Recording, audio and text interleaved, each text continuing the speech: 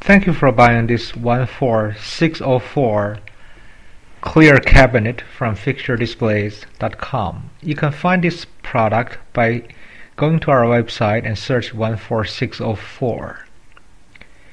In this video, we're going to show you step-by-step instructions to make sure you can assemble this correctly and quickly. These are all the components. You have the back panel, the uh, left and right, the bottom, the top, the shelf, and the front door panel, along with LED strips, hardware, and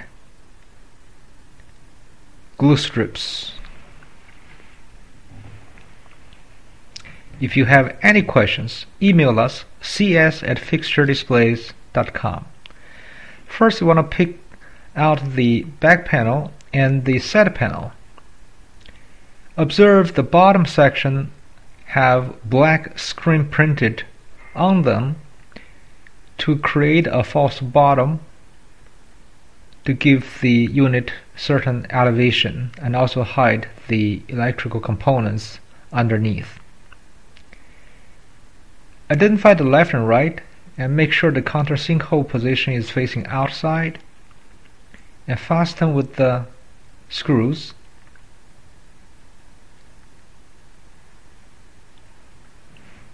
Likewise, to the right hand side panel. If you have any questions, email us cs at fixturedisplays.com. Now we're going to install the bottom Make sure the guide tube are facing down or out. There are two screws to fasten at this moment.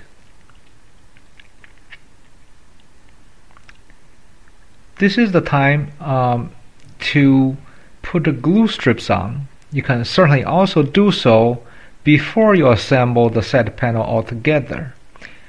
Measure your products and make sure uh, you have your dimension correctly calculated. Measure twice and glue once. In this particular case we're randomly selecting a 5 inch distance to position the left hand side glue strip.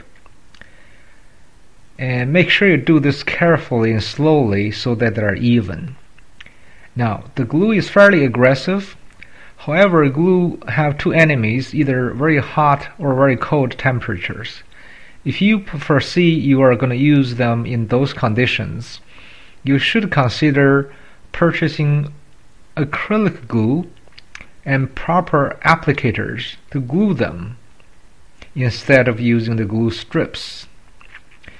We also sell those products. Feel free to inquire with us, and the part number is 11310 on our website. Now we're going to install the front panel. They uh, fit right in and fasten with screws on two sides.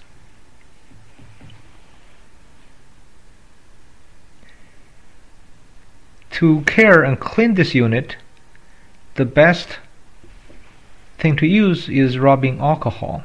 They clean it really well and leave no residue. Now we're going to fasten the two screws uh, between the bottom panel and the door panel. Now we only have the top panel to install. When you were installing the shelf, observe there is a notch position. The notch should face the back side so that the LED tubes can be in inserted later on, that is now. There's no left or right, just make sure the cord is organized properly. Slide them in and fasten with two set screws. Really gently, you don't have to do that very hard. Just enough to hold it and then you want to organize the wire by tying it up to keep it neat and untangled. Now we're going to turn on the power to show you the LED light effect and this is how it functions. The LED strips are optional install. You don't have to install them. Uh, if you desire different effects, you can contact us cs at fixturedisplays.com. That's cs at fixturedisplays.com. We're going to give you some dimensions of this unit. It is 16 inches left to right, 8 inches front to back, and 20 inches tall. It weighs right about 9 pounds. If you purchase multiple units, the keys are going to work for all of them. If you have a special need for the keys, do contact us. If you lost your key, contact us. We can point you out where to purchase the lock assembly along with the two keys. If you like our product, we can really use a good review. Now we're putting on a spinner so you can see the all three sides, front and back, a three-dimensional view, either before or after your purchase. We encourage you to look at the video even before you made your purchase commitment so that you make uh, very informed purchasing decisions. If you like this video, we uh, encourage you to share this among your social network and share the link of our product in, on our website. Thank you for shopping Fixture Displays.